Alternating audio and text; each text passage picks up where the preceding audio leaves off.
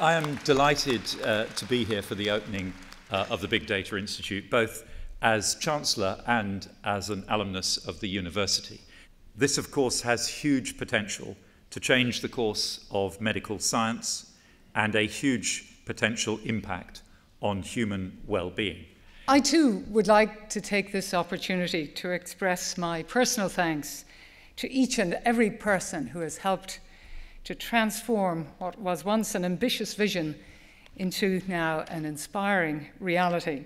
It just feels great. I mean, I just think it looks just like the drawings, which is always reassuring. And uh, so in the heart of the building is an atrium space, which allows daylight in and natural ventilation out. And that's the sort of place where everybody um, can meet, can actually be together. You can see people, you can uh, hear people getting excited about their research, and perhaps most importantly, you can bump into people and have those incidental scientific discussions that you wouldn't have if you were sitting in offices.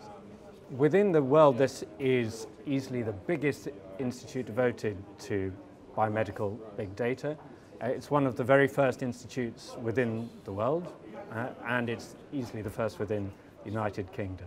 As Chancellor of the Exchequer, uh, I highly value Oxford's established and growing international reputation in life sciences, not just for the science itself, and that's, of course, immeasurably important, but also for the growing uh, range of commercial uh, opportunities that this research represents for the UK as we enter the fourth industrial revolution. So to have all the pieces come together is fantastic, exciting and uplifting and it's a great, I look forward to you know, many more years in this building.